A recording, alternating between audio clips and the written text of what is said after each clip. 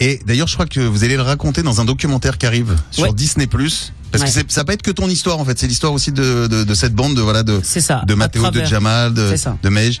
À travers cette à travers euh, mon histoire en fait on va essayer Mm. d'expliquer on va essayer de raconter l'histoire de mes trois autres collègues avec qui j'ai monté ça les hommes de l'ambre comme on dit qui avec qui on a monté parce que c'est vrai que les gens ils, en fait ils me connaissent mais ils me connaissent pas bien donc là avec ce reportage je pense que là euh, je crois même que toi il a, il a dit des mots il a Oui. dit quelque... eh ouais, ouais, Oui. aussi, ils l'ont appelé mais ils ont appelé des Ah, gens j'étais bien d'ailleurs, c'est une très belle équipe, je tiens à la saluer. Eh ouais, ouais. Ils m'ont mis dans un bar.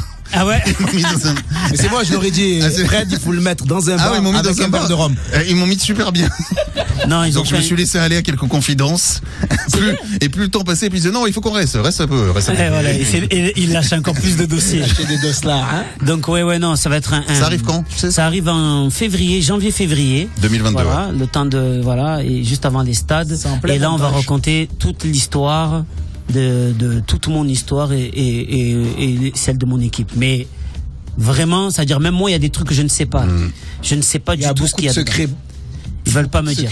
pour. Très bien, donc ce sera à la, enfin, à la rentrée en janvier, février 2022 sur Disney+, la plateforme. Ouais, parce que ça- Planète Rap.